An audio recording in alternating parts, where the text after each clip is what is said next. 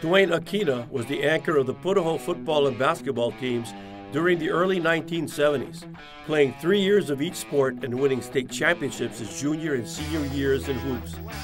He is remembered as a gifted athlete, a proven winner, and a spirited personality beloved by coaches and teammates alike. You know, he's 6'3, probably 185, something like that. Um, and we played him at, at guard his senior year. So he got he was fortunate to get a lot of mismatches. So we would he'd bring the ball down the court as a point guard. And we have somebody that's like five nine guarding him, and we'd say, okay, well let's we better post him up. So we take him down low, and then he'd, he'd become like a center. And he'd have all these wonderful mismatches all year long. Um, very difficult to guard. The mental part of his game was probably the most interesting.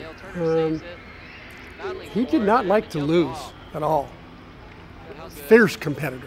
And whoever was on the other other team we were playing that night, he didn't want to lose them. He didn't care who they were. He did not want to lose. So, so he had that sort of driving, uh, competitive desire, maybe in his DNA, and then then he just built upon it and became this amazing, amazing competitor.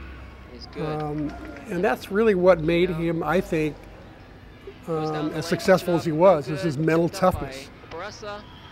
Akina went on to play football at the University of Washington from 1976 to 1978, then remained with the Huskies as a graduate assistant coach until 1980.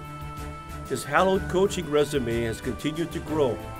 He has coached six Thorpe Award finalists and three winners, and sent 29 defensive backs to the NFL. The Punahou Athletic Hall of Fame welcomes Duane Akina.